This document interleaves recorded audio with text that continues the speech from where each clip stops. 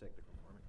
Um, so my name is Jarl Berntzen. I, um, I uh, work at uh, Dolby Laboratories, uh, where I, uh, till recently, headed up corporate development efforts. I recently took a more operating role in our faster growing cinema business. But um, most of my background has really been on the banking side. Uh, I've been on the corporate side for the last six, seven years, but I spent uh, about 15 years on the investment banking side as an M&A banker, Goldman Sachs and, and, and ThinkEquity uh, partners.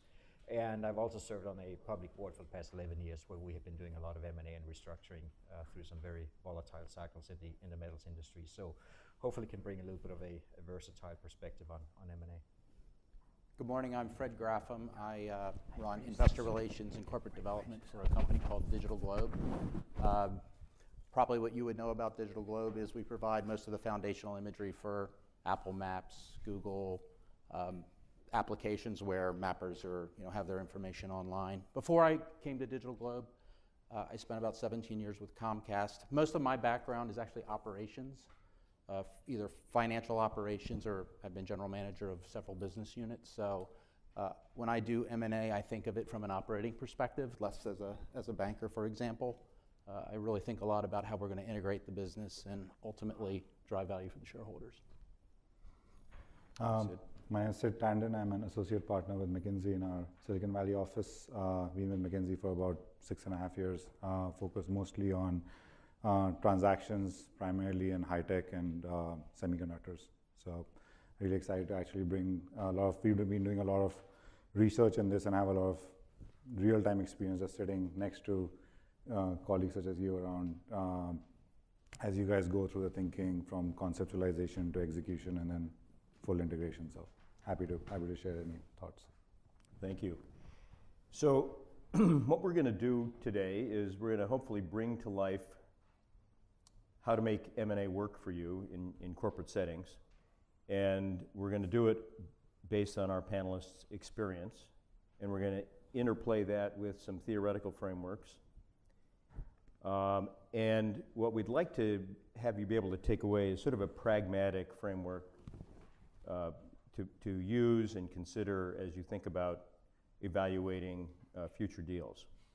Um, and then uh, we're going to zero in after that a little bit on the potential pitfalls that uh, may happen either in the strategy side or the implementation side.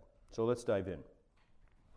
One of the things that you know we all have heard is that M&A as a growth strategy is uh, suspect. That 50% of uh, transactions fail. So uh, uh, at the same time, uh, if you do some reading, you will see that many consulting firms, including McKinsey, will tell you that serial acquirers return higher yields to their shareholders. So which is it? And uh, maybe, uh, Jarl, I'll start with you just to kind of approach that big picture question is, you know, are, are is M&A acquisitions doomed from the start? Yeah, it's kind of interesting. I, have struggled with, with, with, those headlines for, for many, many years because, uh, you know, people tend to read those headlines and you get the impression that doing M&A is sort of a way of sort of playing the odds. But, it, you know, I think it's really a discipline like, like any other discipline. You, you either do it well or you, you do it poorly, and, and of course then you fail. Um, but of course, it's a it's a very uh, specific capability, and it is uh, if you don't have that capability, of course, your risk increases dramatically, and the downside can be very significant when you do M and I think that that's different. I don't see so many headlines about you know half half of the marketing expenses are wasted, right? You know, but M and A sort of grabs the headlines, and I think that that's that that's that's a mistake because you you it, it, it seeds that impression very often, particularly among companies that are not used to doing M&A, that it's just it, it's a risky thing. It's something that you can't control, and you're really just playing the odds. So I. Um, uh, I very much disagree with those statements. I think you have to sort of go a little bit deeper and figure out what does it take to do to do uh, to do M&A the right way. So, Jarl, your point is experience is critical, and the more you do it, the lower the risk is is uh, you're, you're, absolutely. And I, I read an article not too long ago that actually came from McKinsey that, that that highlighted some of the stats that you mentioned. That you know companies that that do a lot of M and A are serial acquirers, and I can't remember the exact number of transactions every year, but they tend to generate a lot of shareholder value. But in situations where you may only do one or two transactions a year. You really don't build that capability, and the risk of failure is quite high. And so for me, the question becomes because I think that's really the vast majority of companies that, that do fewer transactions may not have done it before, maybe doing for the first or second time.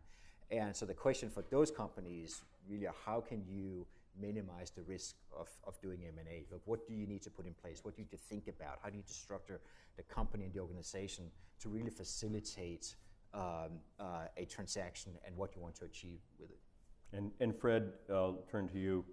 Um, in, in view of wading in, what do you think about the importance of the size of the deal relative to the size of, uh, of, of the buyer? Well, it's interesting. I, I don't come from companies that were serial acquirers. Back to your original question, I think 100% of poorly planned and poorly executed M&A transactions fail. I mean, so I absolutely agree with you all on that point. Um, from the standpoint of size, most of the deals that I've been involved with, both as an integrator and as the M&A guy, uh, have been larger deals, transformative deals, deals that you would do only you know every 12 to 18 months. I mean, like everybody else, we do bolt-ons, and there's a whole different set of uh, kind of rules for a bolt-on. You get into culture, and, generally you're you're doing something that's enabling a product or uh, enabling a capability or introducing yourself to a new customer set. But from the standpoint of size, I think it's really really important to understand the integ- integration implications of acquiring a company. For example, um, you know, I was with Comcast when we bought AT&T Broadband. AT&T Broadband was twice as big as we were. And so the amount of, of integration work that was done both during the deal negotiations, just sort of thinking about how are we going to integrate this thing into uh, the broader organization, as well as post announcement. Uh, we spent a good deal of time during the regulatory process really thinking about how we were going to do this, how many people from the Comcast side of the, of the, of the fence were going to be introduced into the, uh, into the acquired companies. And I think uh, because we did that level of groundwork and really thought about culture and structure and all those things early on, and then executed well upon them, including making sure that we achieved all the synergies we were looking for, both on the, the re- revenue and expense side. I, think that greatly increased our likelihood of, success. Um, sort of the same thing with another deal we did at Digital Globe. We bought a mirror image of ourselves. Uh, a company that was essentially about the same size as we were did essentially the same thing we did. Uh, the market was downsizing and couldn't support two companies of that size, and we ended up with a, large government contract that kind of ensured our, you know, that we would continue as a, as a viable entity. Anyway, we brought them in, and that was a that was a large deal for us uh, and a deal entirely based on synergies between the two companies. We had projected to the market that we would bring take about $100 million of run rate cost out of the business.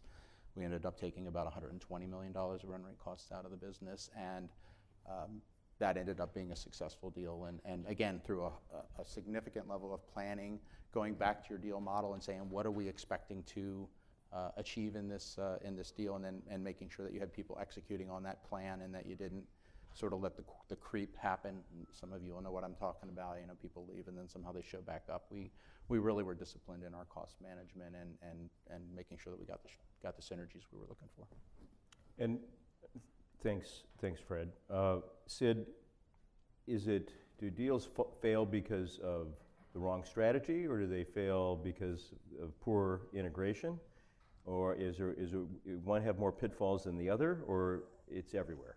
Yes, I think it's, it's a couple of things, right? I mean, the thing that we've seen is this whole construct of 70%, 50% of deals fail or whatever is basically a fallacy. Because there's no, the, the time, by the time you see the success or not success of a deal or failure deal is multiple years into the transaction when the integration, the synergies and all that stuff starts kicking in, right? And so many times when you see these studies or constructs. That's why it sort of runs at odds with companies that do serial M&A actually do very well over a period of time versus companies that don't, right? And primarily the reason is because the effects just take time to basically flow through your uh, your strategy and your your P&L, right? Uh, the um, the two things that we've seen, which are or three things we've seen, which are critical for success. One is the tie-in of the M&A themes like having a thematic M&A program rather than an just a purely an opportunistic M&A program is critical. That sort of ties into your your strategy, right? Whether it's it's consolidating an industry, whether it's driving for growth, whether it's adopt buying a disruptor, like whatever the strategy that you're putting in place, M&A is basically a core part of it, and the themes are built around that, right? That's so that's one. The second point is around proactive sourcing. So a lot of times, basically, sitting back, companies that are outperformers actually go out and proactively source deal. They'll actually actively network. They will actually go to like venture capital conferences and speak more from a high tech perspective, right?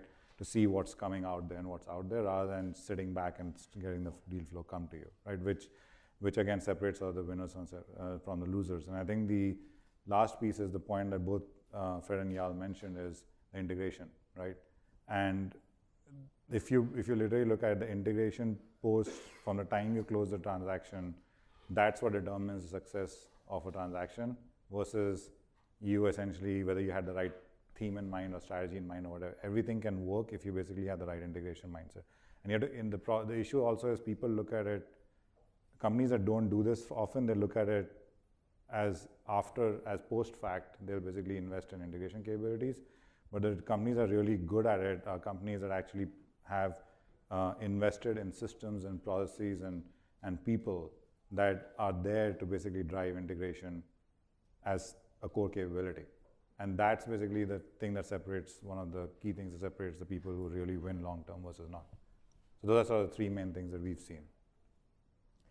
All right, so, so uh, as we get more specific around a strategy framework, uh, uh, in preparing for this session, uh, I read some uh, articles in, in the, uh, particularly on transaction advisors. It's a great, great library of, of articles, William. And one article by Stephen Morris at U- University of Chicago Booth School uh, really provides uh, an effort to understand where are the successful acquisitions and in what areas do they fall. And I'm going to describe it briefly and then ask the panel to kind of opine on some of these, these issues because I think we'd like you to leave here with some idea of a structure, a decision structure, as you're thinking through uh, strategy questions. In Morris, it says basically that you can think about acquisitions in terms of expansion of scope, expansion of scale, and expansion of capabilities or technology. Those three. And each of them is very different. So, scope is cross selling new products to your existing customers, uh, cross selling uh, existing products to new customers, vertical integration. Uh, there's basically uh, six or seven different ways of expanding the scope of the business. Um, uh, to accelerate market access or, or expand the product uh, scope. So that's scope. Scale is let's take two companies very similar as you did with DG and put them together and take out a whole bunch of cost and get back end synergies because we're going to share some relatively fixed costs over a, much higher revenue uh, uh, field. And, and that tends to be more cost centered, whereas the, uh, the scope tends to be more revenue focused. And then the last, and very relevant for technology companies, is getting new capabilities and, and R&D, and I think that speaks for itself. So uh, maybe I'll just ask each of you to kind of think about and, talk a little bit about where should companies focus? Should they focus? Should they stay tight into where they're, uh, uh, you know, where is it getting risky and where are the opportunities? Uh, and can companies, if they stay too narrow, are they actually expanding their opportunity set enough, et cetera? Where, how far do you go afield from the core? Jarl? Yeah, well, I mean, it's obviously a, a, a, complicated question because a lot of that depends on the industry dynamics, you know, what, what's going on and what you need to do strategically to, to survive or, or succeed in your industry. And it may be that you have to do, as, as Fred mentioned, you know, transformational transactions and take a lot of risk in order to be a long-term survivor. There may be a you know technological shift in your industry, for example. But but of course, the, the, the further you move away from your core business, the more risk you're going to take, and of course, the more downside you're going to have in your your, your M&A situations. I think that um, at, at the end of the day, it comes down to certainly from my perspective, and it should be driving every transaction. What what are you doing for, for with regards to shareholder value? Are you actually creating value from doing this? Whether it's getting into a new growth area, whether it is, is buying a similar business where, you know, there's low hanging fruit and you can take the cost out. Um, not that every company is necessarily good at doing that, but I think that you got to look at each situation individually, and you got to look at the the return versus the risk, and, and, and make a decision like that. But of course, uh, the, the, the, the, the strategy of just going out and acquire interesting things because it may be a good opportunity and it has no relationship to your core business and your core capabilities, of course, is an extremely risky uh, proposition, and uh, the landscape is littered with, with, with massive failures in that area. And, and Fred, uh, you know, in your experience, I mean, talk a little bit about DG, what you do at your core, and you know, some maybe one or two acquisitions that you did, like Radiant, that you know, a, as to you know, how they fit into that framework of.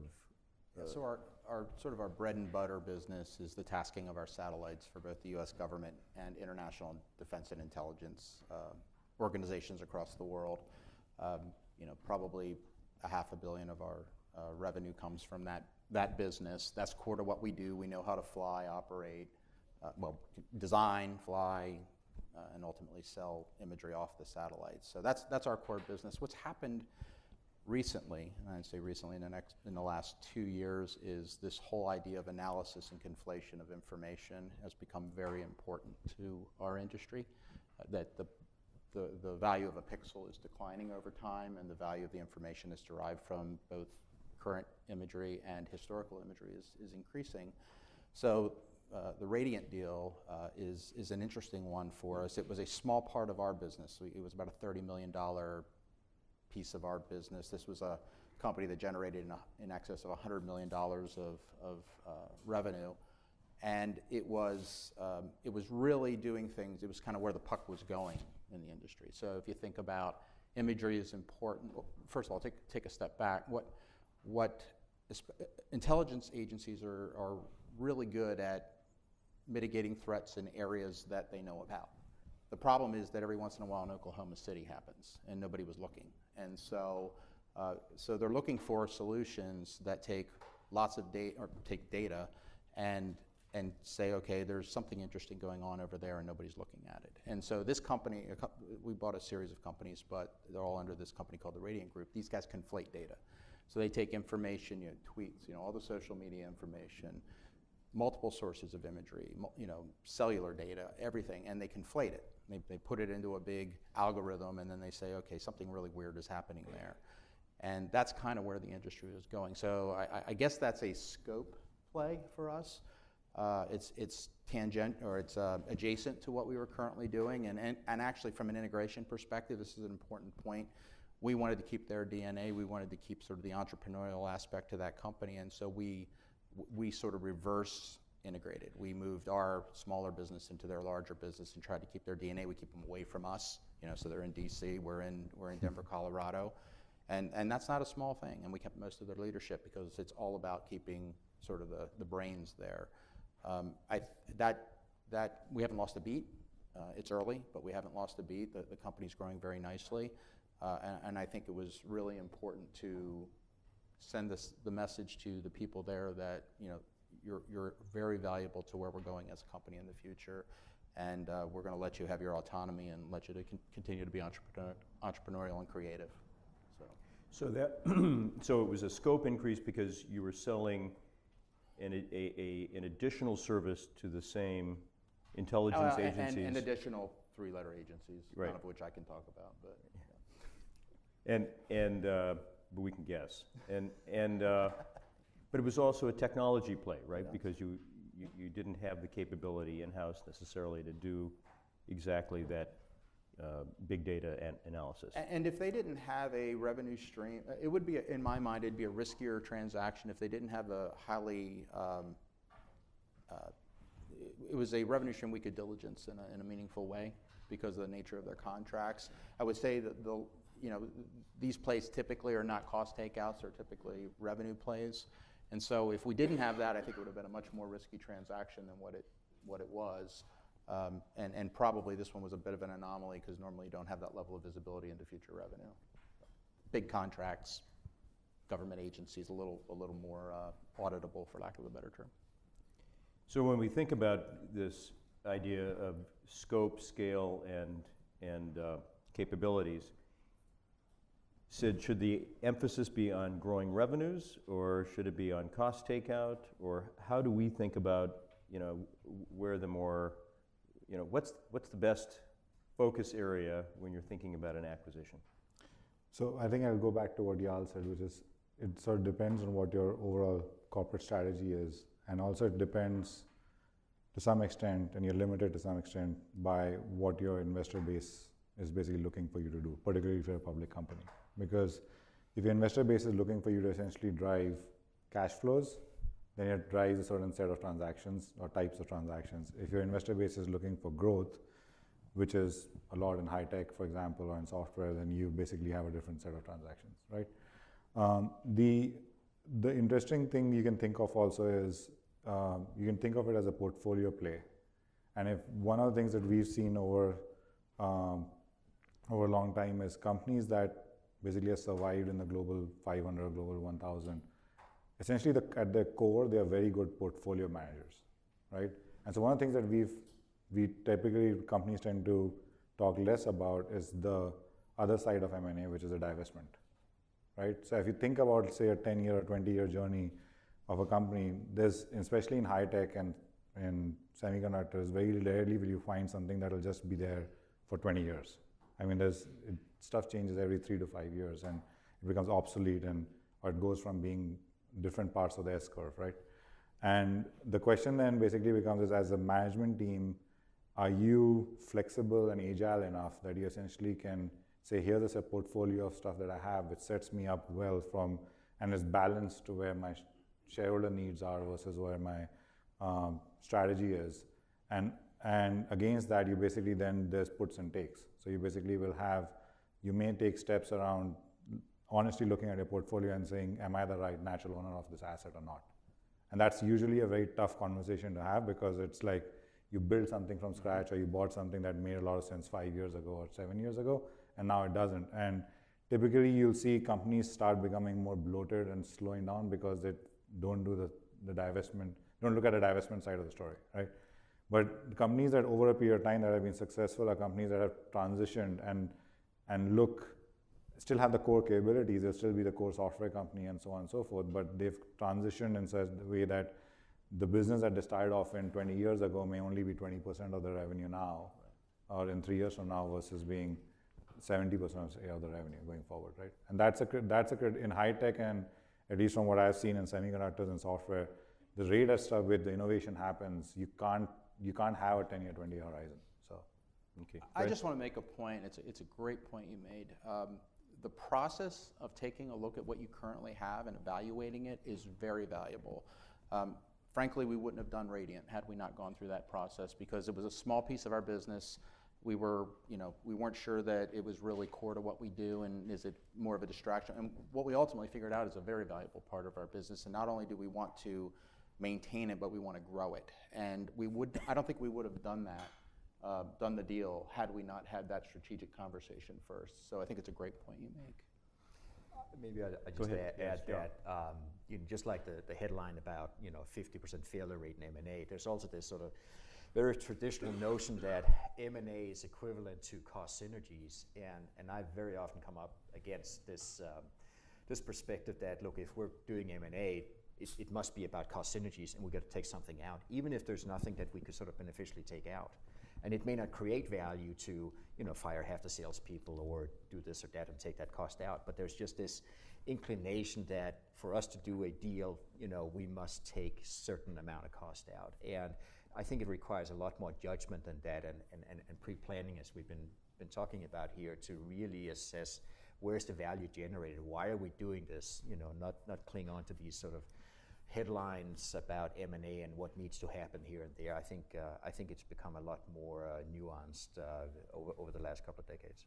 Any uh, example at Dolby in terms of uh, you know of a transaction that was maybe more revenue focused, where there was not some obvious cost takeout? But- yeah, yeah, well, I would, uh, I'd rather stay at the hypothetical level. Okay, but- sure. But, um, uh, you know, there was, there's definitely been situations where uh, there has been an urge from certain parts of a company to justify the transaction by taking some cost out, and, and almost at a point where you take cost out just so you can show you've taken cost out, but it wasn't necessarily, um, uh, you know, beneficial for the ongoing business to do it. I think there, there, I don't think that's a, uh, a rare situation at all. Isn't that because cost takeout synergies are much easier to predict, much easier to forecast, and nobody's confident of revenue synergies? I mean, and Fred, comment on that, because I think that, that was something that, that we talked about. Well, if I can make a deal model work with cost take, and it's not the silly cost takeout, it's not, you know, eliminating half your sales force or taking out people that maintain relationships that are very important to the future of the business. But if it's truly duplicative costs or administrative costs where you can, you can take a, you know, take a decent amount out and justify the deal model, that, that's, that's a low risk deal. And, and, and honestly, we've done quite a few of those. And they're, you know, you sleep a lot better at night after you sign all the documents because you know that, especially if you have an integration team that kind of gets it, which we do at, at Digital Globe and frankly at some of the other companies I've worked, very strong uh, folks that, that lead the, the operators through, you know, the, the process of integrating a company and, and what we're looking for in the deal model. So yes, I, I absolutely agree that the, um, the risk of a deal, as long as you're fundamentally maintaining the business and the opportunities you're looking at for growth going forward, if, if you can justify a deal model through cost takeouts, that's, that's, that's a win. Now, fortunately, some of the deals we've done, we've been able to do both. We've been able to grow the revenue side and, and take costs. But, I, but it's, it's certainly harder to, to predict where the, because you're, you're dependent on things that have nothing to do with the deal a lot of times. Explain why revenue synergies are harder. Well, generally we minimize uh, how you know the disruption first of all. So typically, um, even in the best run organizations, um, M&A organization, you, you may take a step back on day one, and, and I don't ever see a deal model that shows the, the year one step back. You know? So yeah. if your business goes backwards five percent in the first year, you know what? It may still be a good deal, but I bet you your deal model didn't show that. Um, on top of that, entering new markets uh, is a lot harder. We have we talked a little bit about the buy versus build thing, and one of the um, you know it's hard enough to to dovetail off of uh, you know a sales for, what you do on a sales force that already exists with customers that already exist, and you're just sort of introducing your brand and your products to them. That's hard. It's really hard. Um, in the buy versus build discussion, you know, then you're saying, can we do it ourselves and build it from the ground up? You always underestimate how hard that is. It always takes twice as long and costs twice as much as what you thought. Um, but yeah, I think I think you just underestimate um, how hard it is to build a business, you know, from soup to nuts. And the good thing is the company you're looking at typically has already built a business, and so um, you know the. Um, so I think I think just underestimating the difficulty of So there's more organizational complexity. So- Yeah. Yeah. Well, uh, can I just say, Yeah. I, you just don't know, right? You just know. You buy a company because you think that your sales force can throw another product on the on the van and go and sell it to the existing customers. But you, at the end of the day, you don't really know if that customer will be interested in buying that product. You don't know if they want to pay full price for it. So you don't know if you have sort of the synergies that you expected, right? The cost synergies are sort of just a really nice thing because you don't really have to, to do very much. You just cut it and that's done and now you justified the whole thing. And so the revenue thing is just so much more unpredictable. You can't control it. But of course you generate a lot more revenue or it's a lot more value from from, from building revenue than just cutting cost. It's sort of a one-time thing and it's that benefit is not growing the way a, a revenue benefit will grow. And so I think it's really a matter of how, what can you control, and that's why I think a lot of people in M&A situations, you know, will very quickly sort of allude to go maybe go a little bit overboard on the cost cutting and then be a little bit vague on, on, on the revenue synergies. Right. So you see there's a trap there. Um, yeah. Fred, could you extend on your comments with regard to the first year? Is, you oversee both investor relations and corporate development. Yep. Are there methods with which you can educate both your investors as well as the board of a much more realistic first-year assessment?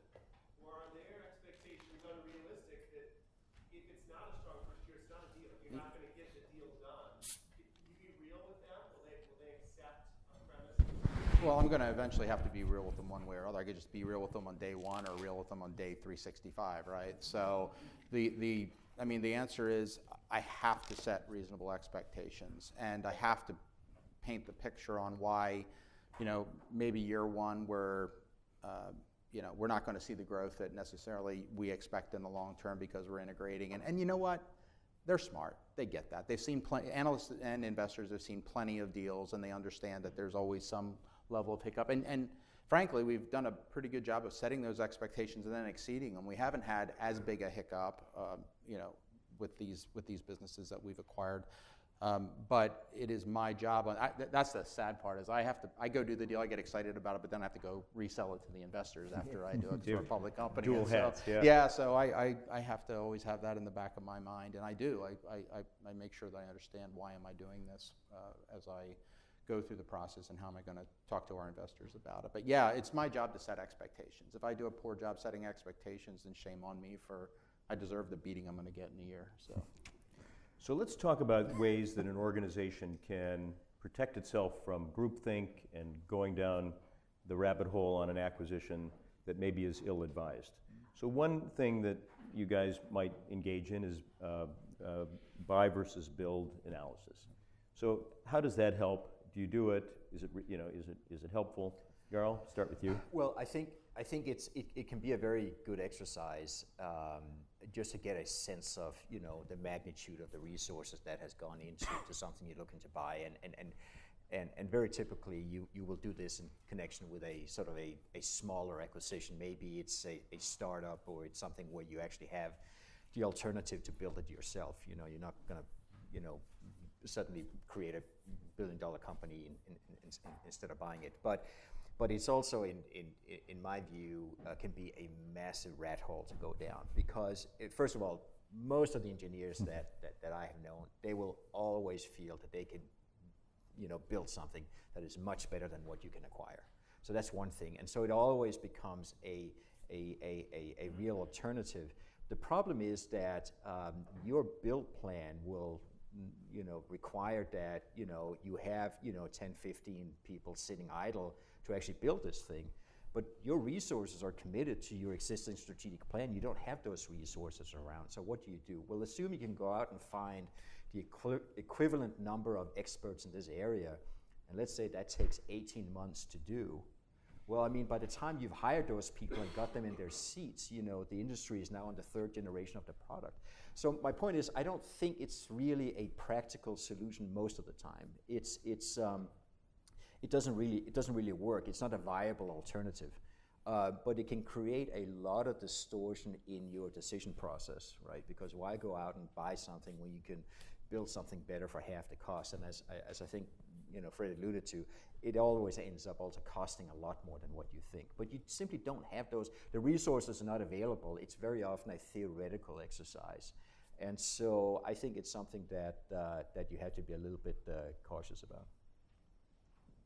And just quickly, uh, Fred, do you do the same? Do you do a We do the buy analysis. versus We build? do the analysis. The engineers I deal with design satellites, so they can they think they can do everything, and they're brilliant. But I absolutely agree with all the comments that were made. It takes um, typically it's it it ends up very quickly going from a buy versus build to just do we want to do this? Do we want to buy? Forget the the, the, the build, but do we actually want to do this? It but it's a takes dis- too long. yeah, it's a discipline, but it's a discipline you need to go through because every once in a while you're going to trip across something that you actually can do, and and you know you have the infrastructure to do it. I I wouldn't minimize the the mind share piece of it too. You just don't, at least at DigitalGlobe and any other company I've worked for, we just don't have people sitting around look you know with available bandwidth to, to do something new and, and increase their job scope, you know, 50%. It's just those people don't not in public companies certainly. Yeah. So And And- it's, al- it also sort of depends on the disruption piece of it, right? And one of the things we've seen is, is just to build on Fred's point, is that the,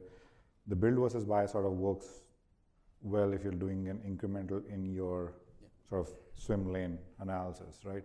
The moment you basically start thinking about my swim lane is shrinking and there's something else in Addison that's shrinking that swim lane, or like my market's going to be disrupted by something else, that's where a lot of the bias comes in because like it's very difficult for an organization that's built a five billion or ten billion dollar business over 20 years to suddenly stare, look itself in the mirror and say, "Oh, we can't like we are going to get disrupted significantly," and then go and actually take a uh, they will always keep arguing about no, it's not going to be tomorrow, it's not going to be tomorrow. And I think from a management team's perspective, what we've seen is that people, the management teams that are very honest with the with that analysis about that our core is actually under threat from a significant disruption, that's when basically you sort of don't go through this. Can we sort of gradually build our way into the market versus do we use our current cash flows and our current scale and everything else to make a transformative transaction that basically makes us a leader in that space rather than somebody cannibalizing us over a period of 10, 5 or 10 years, we basically we essentially bring that in house and then we basically control both sides of the equation and we use this cash to basically drive the other side. I think that's it's in in particularly in the fast moving tech space and software and all that stuff it happens all the time right and i think this this being honest with yourself about the the disruption that you may not see everything right i mean that's the other point is everybody thinks that we know everything going on in a space but the whole beauty the reason silicon valley exists is because two guys in a garage can basically disrupt you right and so that's basically the construct that you need to be aware of and and um, be able to come to terms with very openly so And then Sid, you mentioned earlier another uh, way of sort of monitoring, self-monitoring a company, which is, are we the natural buyer? Are we the logical buyer? Uh, Is that a valuable tool? Is it important that you are the most logical buyer? Um, You know, but there is something to that, and so, I mean, let's just explore that for a minute. Yeah, I mean, the natural owner of an asset is, is interesting because you sort of have to look at it from a perspective of um, is you may not so like do your custom are the customers that you're selling to and essentially are they essentially looking for this technology or this product that essentially you can then uh, and they would look traditionally to you to offer it right um, like just saying that basically a company x is my customer doesn't mean anything like one of the things that we obviously many times see is the buyer inside a business can be very different so you can say my my uh, a large Fortune 500 company is my customer if I'm an enterprise tech provider.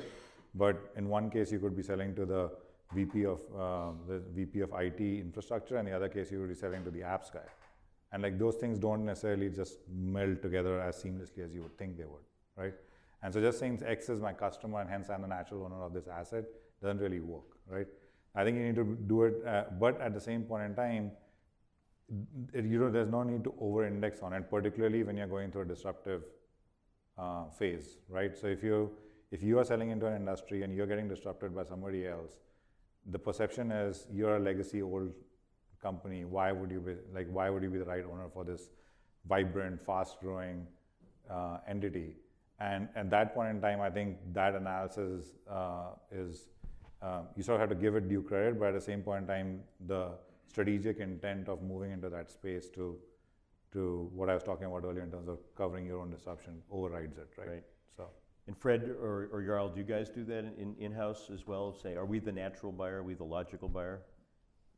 Either of you? Uh, Yeah, I don't, I don't think we, uh, you know, we're, we're conservative by nature, and I don't, we, we tend not to sort of we're into very new areas. So I think most of the time we're sort of naturally one of the best buyers for something. yeah. we're better at it than what we were. Um, I, th- I think we've, that's partially because we've solidified our strategy as a company in a, in a much more um, robust fashion than, than maybe historically we had. And so if you don't fit into our strategy, we really question whether we're the logical buyer for, for it. I- And I have companies that come in all the time and, you know, with pitch, pitch books and talk to us about things, and I'm thinking to myself, why in the world aren't you talking to so-and-so? And, um, and so, I don't know that it ever gets to the board level at that. We've done that work really early in the Really? process, because Yeah. again, we're small, we have limited resources. I can't waste time on things that aren't consistent with our strategy. And then we're going to talk about integration, and we have a few more minutes here. But I want to, is integration discussion part of the decision whether we should proceed or not? Uh, Do you guys have a view on that? In other words, do you do some pre-merger integration discussion as to can we implement this? How would we implement this? Absolutely. I think um, uh, I've certainly been in situations where uh, an assessment, my assessment certainly been, you know, we don't have the capability to capability to integrate something. And a, a proposal may have been that we're going to leave them separate and run their own business. It may be sort of adjacent to our own business, and it's not something we necessarily have to integrate unless we're just absolutely dying to get those cost synergies I talked about before. Um, but if we decide that we have to integrate them, there are situations where uh, you know we would absolutely decide that we can't do it because you can predict that it's going to be a meltdown, and we don't have the capacity to it. Maybe at that time or, or ever, maybe it's just too complicated for us, and uh, we know what the consequences might be, and so we, we would back away from a situation like that. Okay. And Sid, maybe some thoughts on the importance of thinking through integration before you actually pull the. Yeah, and I think it's it's absolutely. I mean, we've seen it's absolutely crucial, right? I mean, there's uh, uh, some of the clients I serve. Basically, they spend a lot of time upfront thinking through the integration, like all aspects of it, right? It's not just, and you you would and you would triangulate. So you would actually go out and and test it with your customers, right? Like like with your sales force and whether the integration is going to work or not. You'll start thinking about the culture right? Whether that's going to meld or not. You're going to start thinking about systems, right? As much as you can, you can see outside in because a lot of the stuff also, especially in bigger transactions, it relies on essentially bringing the, the systems and the technology together seamlessly.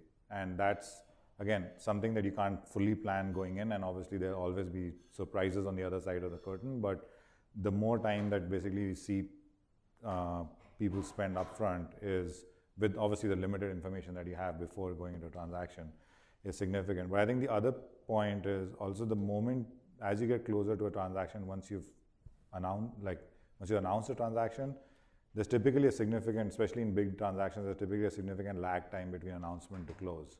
And there's given, given obviously within the legal parameters of what you can and cannot do, that's really a time to like double down on integration planning like really deeply. And like really put your best people at it start thinking about it holistically put in place the systems and processes to do it. And the more the more you do that then so the day when day one comes you're ready to go as much as you can be ready to go. And i think that's the the time frame that i would look at is is there some work you can do up front which sort of gives you a sense of whether this is going to work or not and how difficult is it going to be? And that's typically not the gating criteria to whether or not you do a transaction. That's like what you need to do to de-risk the transaction. And then the second, when moment you announce the transaction, then you double down on the de-risking and integration planning of it, and so that the execution on day one, you run it, you hit the ground running, essentially. And how do you guys, you know, t- uh, turn to Jarl and Fred, how do you guys organize the integration process internally? Because, you know, just thinking through, you know, is it a separate team, or how do you develop continuity? And I think we may be different in this regard, but um, at DigitalGlobe, uh, we, t- we typically, and by the way, to answer your question, it better be part of your pre, uh, or your pre, uh, before you make the decision actually about you better be thinking about integration. But we have a separate group uh, in our company, small group, but uh, someone who has a lot of experience in integrating companies. And you know, the way we do it is we have the small group direct the operating heads to, uh, you know, to sort of think about how they're going to do it in the most efficient uh, an effective manner. Uh, so we have a separate group. Uh, we typically bring that team in before we sign anything, but you know maybe you know a couple weeks before we're ready to sign documents, we'll bring them in and just get you know look for any red flags or concerns that we haven't thought about, um, and um, and then they kind of take the ball from there and, and they're so good at it that it's, it's actually a luxury for me. I don't have to spend a lot of time in integration planning because they do such a good job of it. But Jarl, you know, I, I think you would say that there's a concern about continuity from deal strategy and planning to implementation, and how do you develop that continuity? Yeah, so, so we don't have a, uh, we don't do enough to have a, a sort of a team on standby to do integration. And so when we do something, we, uh, we basically assemble the team, a cross-functional team uh, for that transaction. But of course, we need to lead and drive that and, and make sure everybody's coordinated. But I think it's, um, it's extremely important that there is that continuity, you know, from the beginning of the due diligence process all the way through integration, because it's just amazing how much you learn through due diligence that can have an impact on integration, which I think in many situations, many companies who do it a little bit differently, where you know, the deal team throws it over the wall when to the integration team and they run with it. There's a lot of information that gets lost, and um, you know whether it relates to you know operational issues or defect products or you know litigation or certain customer issues and problems that should be addressed right away, um, that can very easily sort of be, be, be, be dropped. Uh, so having that continuity uh, from the deal team into the integration team and even have an overlap, I think is extremely important. Now, is it best when you're doing implementation to do it fast, rip off the band-aid and just kind of make it happen? Uh, or should this be done gradually? Or how do you guys think about customizing it to the situation and the scenario? And maybe start, Sid, yeah. start with you and then go to the, to the corporate guys. Yes, I think it, it, it um, answers or it depends on some functions, like the G&A functions, for example. You may want to go faster um, because a lot of your reporting, your internal systems, and so on and so forth de- uh, depend on that, right? And that's the sort of the first place you can achieve your cost synergies the fastest, right? The places, the more you start getting into engineering, um, R&D, for example, or uh, sales and marketing, you have other factors that start playing into consideration, like your product roadmaps that are already ongoing on both sides. It takes time for those things to merge over a period of time, so you can't just rip the band-aid off, right? On customers, there's existing account relationships that exist, and how you bring them together can have a material impact on your revenue trajectory. I mean, whether you rebound from that first year blip or not kind of depends on that, right? And um, the and the, the last piece I think is is is it, but at some stage we've seen that typically over a couple of years, right, two to three year time frame is when sort of everything converges and you now are operating as an integrated entity and different functions just take different time frames to basically come together over a period of time. And, and do you guys have ideas on how Yeah, fast I- you I- should go? I break the world into things you do to play and things you do to win. I think the things you do to play, you know, pay your people, pay your bills, you know, do all the, you know, the sort of my job stuff. the um, uh, that stuff I think you should move as quick as possible. Uh, typically has less impact on on the end the end customer. I think the things you do to win, serving your customers, product development, all that kind of stuff, you really you can screw up on the first one a little bit and get away with it on, on the latter. It's it, you really need to be thoughtful and make sure you're not impacting your customers. That's the first thing they're looking for. They're looking for you know what does this mean to me? You know this new organization has gotten out ahead of its skis and now it's you know it's not delivering the way it used to deliver. And so I think you just need to be more thoughtful, which probably means a little bit slower. Yeah, I just say it- it's, it's really a judgment call. I mean, things like, you know, customers, how to deal with customers, who is calling, which customer and all of that, that has to be ready on day one. It's absolutely critical. And then there are probably a lot of things in sort of on the back end and operations that not, doesn't necessarily have to happen day one. And so I think applying that judgment across the board is, is very important. But one thing I've seen very often is that companies go down a path where they think that I can stage it maybe over three years and I'll just have these people finish this, and after two years, I'm going to fire them. That doesn't work in, in, in, in real life. I mean, you just can't. But it's, it's, it's, a, it's a notion that I've seen repeatedly, right? And so I think that there you have to be a lot more decisive and say, look, you know, this is what I, is critical for day one, and the rest of it, uh, knowing what my plan is, I got to do it sooner rather than later. And it, would it be fair to say that if you think, go back to our uh, strategy framework, that where you're talking about scope extensions and even far reaches of scope extensions, that you're probably going to integrate slower, whereas if it's a scale, if it's uh, more back end weighted, more cost synergy, you're going to go faster. Is that a fair, fair assessment? I think you assess you assess what are the resources I need to execute the plan I put in place. Why am I doing this transaction? What is it I'm going to achieve over the next one, two, three years? And what is required for that? And whatever is not required, of course, you should you should take out. But it also come back comes back to what, what, what Fred talked about, what the expectations you're setting with your board and you're setting with the street, et cetera, right? So I think you just have to be very measured about how you do it make sure that you can deliver what you promise. The, the other thing that also is on the river, the construct is that's pretty common now in the valley is the reverse integration construct, right? Which is, is reverse integration. So you buy an entity, you essentially are, it's in a new space that either you're not in. And going back to your point around scope, right? It's you actually may not integrate as much as as you would normally do in a typical transaction. And the reason is basically they are your core to going building the stuff going forward. And depending on um, depending on where you are with your own systems and your own product roadmap and everything else, the extreme version of that is essentially you reverse integrate into them because if they've basically have bleeding edge systems, they basically have um, they build, build it from the ground up, right? It's like they, they use all uh, next generation uh, processes and so on and so forth, you might say, look, the integration doesn't work the other way around, where you just say you just reverse flip it around to the other side. So I think that's the uh, other angle also is that you have a reverse integration construct that you can keep in mind in certain situations. Yeah, that's interesting. How So the other thing I just mentioned, which I think is actually quite important because it's, it's very underrated, and that is the, the use of divestitures is something that's, that's, that's, that's very ignored in the corporate world because it's a capability that doesn't exist in most companies. But if you can actually, you know, you can use that and generate a lot of value from that, I think, in many situations where you get something, something is just not core. And if you can just immediately start carving that out and prep for that and divest it, I think you can, uh, you can save yourselves a lot of problem because very often that becomes something that's lingering for years. Look, what I'm going to do with this, it's, you know, not really paying attention to it. And, and, and I think that you can proactively uh, generate a lot of value by more, more use of divestitures. But of course, that's where you, you need a little bit of help like, like an advisor, right? But um, I think that's something that's neglected way too often. And then how important is culture in, in uh, implementing uh, an integration? Um, you know, in, in terms of retaining talent, et cetera. What, and, and how do you deal with cultural, and what, what does this mean? You know, what are we talking about when we're talking about culture?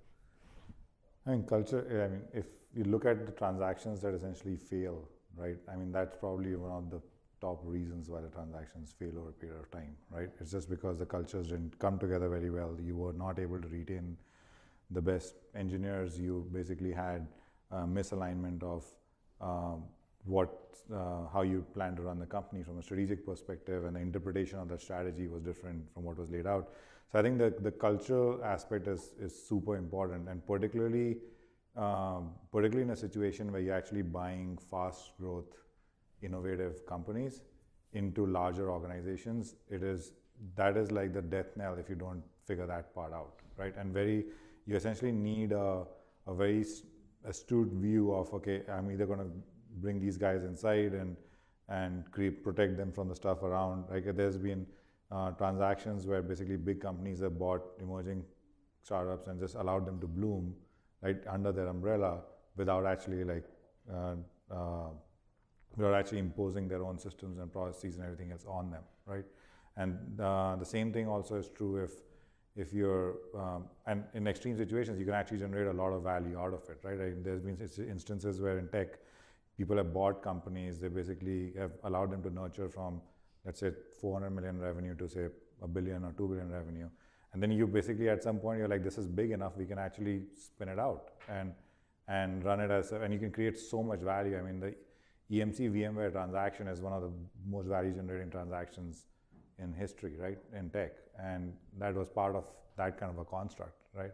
And so i think the culture of and VMware is still here, EMC was always in Boston, right? And that culture is, is super critical, and understanding that and going into it is quite important. So isn't this, it's almost a structural problem uh, going into it because if you have a, a, large buyer and a relatively small target, the small target, the, you know, it's entrepreneurs, they make decisions on the fly. It's a very small group of uh, decision mm-hmm. makers.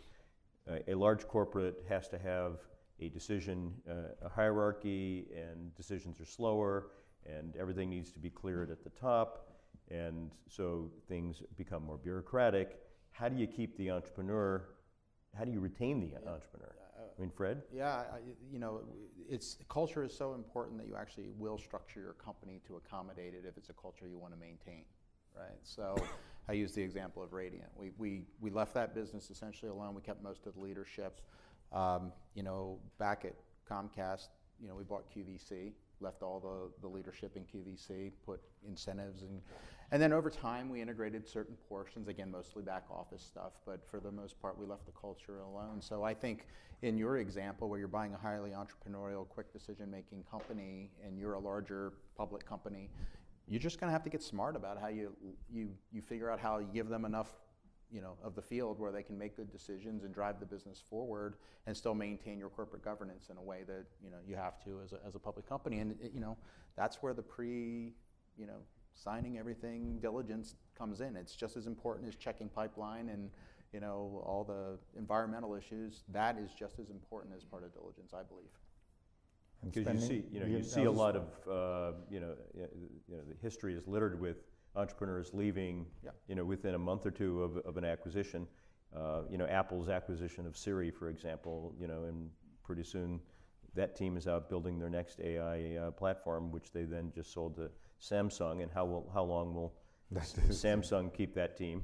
I mean, these are, you know, and, and yet without the team, what do you, you know, you're buying a static So one of the things I've seen is the management team of the acquirer actually spending a significant amount of one-on-one time with the with the founders of the small uh, over the duration of both the obviously during the deal negotiation is slightly more difficult, but like post signing and before closing, you can spend a significant amount of time just understanding between the two uh, between the two sets of groups, right? Because it is really important for the CEO and the and the management team to get a real handle on basically like okay, how do these guys really think? How do they operate?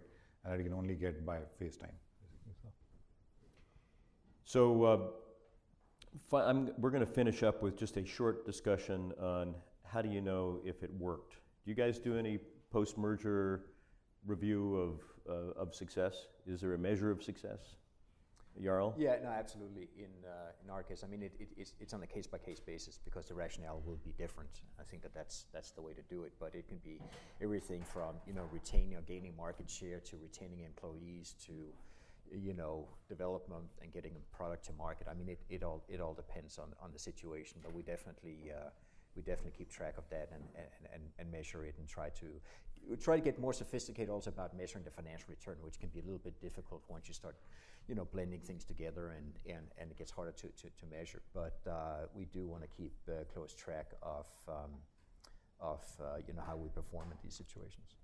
And, and Fred, what's your, Yeah, what do you our, do? Our board requires it, so the internal audit group looks at every deal we do and, and reports out to the board. We typically set on essentially day one, we set five or six metrics that are key metrics for success, and we're held accountable to them. yeah, hopefully metrics that you can measure.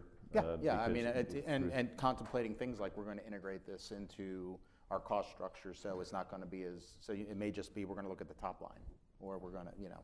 But yeah, it, it's things that ultimately I have to sign off that I'm going to be held accountable for. Yeah, agreed. And management teams are all, and most of the clients we serve have clear KPIs and, and uh, to account for the integration and success of these things, and they track pretty closely. So. So we'd love to uh, answer any questions from uh, the group here. So feel free to just raise your hand and we'll, uh, we'll, please, uh, Tom. Addressed to the corporate members of the panel, could you comment on um, which process you use internally to evaluate, prioritize your deal pipeline? How often you do that, who's involved in those conversations? Yep. So Tom was asking, uh, how do you prioritize the deal pipeline, given that you're probably looking at hundreds of deals a year? Yeah, I mean, I think in our case, it's a very, very uh, fluid process. You know, we, there's there's a constant deal flow, and, and sometimes it's actually quite overwhelming. But I think we have a very good understanding of in, in, in, in- our group, you know, what what might be of interest and what, what, what is not of interest. But we actually vet a very large number of transactions, and it really comes down to is there a is there a good strategic rationale, and is there someone who would be interested in sponsoring this, right? And in 99 out of 100 times, the answer is no, right? But we do, uh, we do, as long as it's somewhat close to our business, we look at it quite carefully. And so it's just an ongoing process. I mean, constantly have, you know, I don't know, you know, probably between 10 and 20 situations going at the same time that, that, that, that we're just keeping in the air and making sure we, we analyze and get input in it. Then if it goes to sort of a little bit the next stage, so to speak, and that's not terribly formal, you know, we may start doing, uh, you know, some deeper analysis on it, may start engaging a little bit just to, uh, to get a better sense whether this would, would fit with us. We have a two-prong approach. We have a company full of hunters, so we're, we're always putting it out there in our corporate communications. I speak to the company quite a bit on the IR side, so we, we always say there's no bad ideas. You know, if you guys have an idea about a company that you think might be interesting, send it to me. Uh, we also have a formal process. We do executive leadership meetings off-site, generally once a quarter. Uh, typically, an hour and a half of that is an M&A discussion where leaders are bringing ideas in, or we're bringing, you know, hey, these are the the top 20 targets we're thinking about right now. What are your thoughts? And um, you know, if one piques the interest of the team, typically you get an executive sponsor and you start looking at it in, in earnest. But uh, so we have.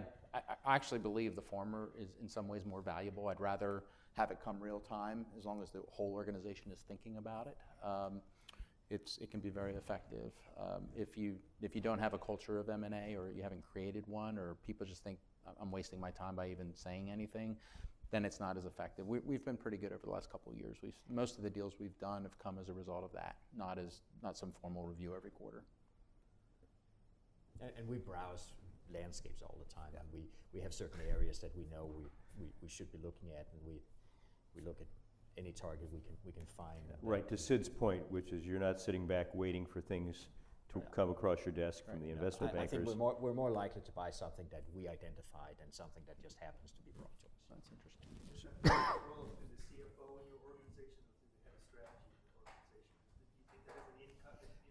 Yeah, um, it's sort of a little bit more, uh, you know, finding that sponsor. You know, a business group head. If a business group head says this is something that that, that I could use for my strategy and, and, and, and I can do something with that, then it goes further. You know, it doesn't it doesn't go up and then come down to the to the business group head. So it's something that's sort of built from the ground up. And uh, and uh, normally, by the time it gets to the very senior level, uh, you know, a fair amount of you know um, conviction has been built into it. Please, Brian.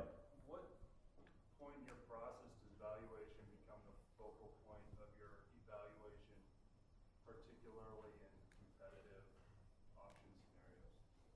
It's a good question, and we, we, we didn't talk much about valuation, but obviously, i i- it's always central to every, uh, every transaction. Yeah, the first question is, is it consistent with your strategy? Does it, you know, can you integrate it? Can you? But, I mean, it's, you know, what point it's probably running contemporaneous with a lot of other stuff, starting to develop valuation, things of that nature. Sometimes you're right, you don't have a lot of time to think about it, so you have to make a, you know, you have to do those other evaluations pretty quickly. Uh, but I, I wouldn't say it's before or after anything, it kind of runs, you know, at the same time. Um, but we do know when we're saying, okay, this is, you know, it's either not strategic or, you know what, we just know the valuation is going to be beyond what we're willing to stomach. And um, again, being a public company, we're going to be held accountable pretty quickly for what we pay for these things, especially being a smaller public company. Um, so uh, it, it's, it's, it's earlier in the process, especially if we think it's a red flag that, you know, we're just not going to be able to afford to do it. Yeah, we don't, we don't, valuation is not just a big issue right in the beginning, but it's something that we look at because from the beginning, I need to have a, a, a, a, a view on it, right? Whether it's just a loose guess on the estimate or, you know, whatever it is, right?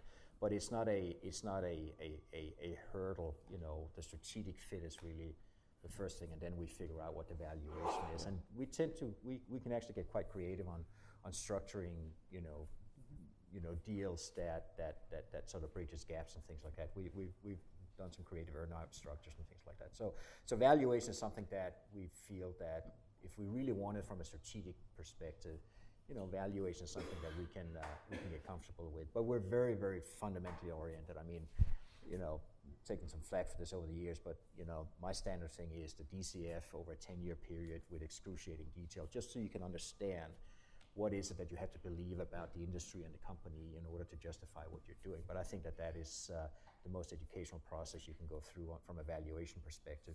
What you end up doing at the very at the end of the day, that's that sort of is, is, is sometimes a, a different different issue. Yeah, and I would say, you know, at Lazard, in terms of our sell-side processes, strategic fit uh, is so much more important because that's, that's a binary yes or no.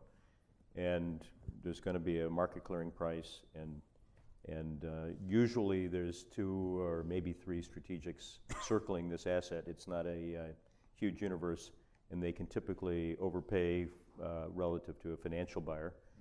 And uh, you know, if the fit is there and the models work, uh, obviously you're not going to pay more than the DCF uh, with, with you know, reasonable assumptions. But any other thoughts or questions? And if anybody has, you know, a comment uh, or an editorial, uh, uh, feel free to chime in as well.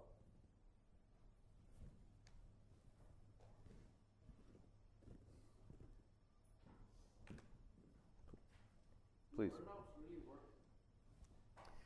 Earn, do earnouts really work? I, I, say most of the time, no. I think it's something that, you know, everybody hates them. And, but you sometimes gets to the point where uh, it's really the only way to get something done. And uh, I think the sort of tr- traditional earnouts where it's, you know, it's an EBITDA measure and, you know, if you hit it, you get paid. If you don't, you, you don't. I think it, the, the key is simplicity, you know. Is it something that you can clearly measure and something that you are completely unlikely to litigate over, right? And if you can create something, a metric that everybody agrees that, look, if you hit this metric, you get paid, and we're really happy because the business has been a success. And it may be as simple as, you know what, we, we, we ship X number of units, and we, we know kind of what the cash flow value of each unit is in our model, you know, let's, we, can, we, can, we can figure something like that out. And that, that works for both parties. So I think the answer to the question is, you know, you know 99% of the time, no, it, it doesn't work. It's terrible. And I, I've always also heard that most buyers, you know, when they enter into an earnout, they don't really expect to pay it because it's pretty easy to, to, uh, to create a scenario where you don't pay it, as you know. But if it's something that you can't really manipulate on either side, I think uh, you can structure something that works. And if you're in a situation where you absolutely have to bridge a gap, and it could be something simple as, you know, I think the industry is going to do this, but but but but they think the industry is going to do that. You know, what's the value of that gap? And and and and and if if if if, if I'm wrong about the industry, more than happy to to, to pay. So um, so it's in, in specific situations like that you can you can you can structure it and and and we have not been afraid of going down that path and trying to figure out something that is fair for everybody and very very transparent. That can work. The rest of it, no, I, I would never touch it. Thank you for your honesty. Yeah. Well, thank you all, and uh, we appreciate it.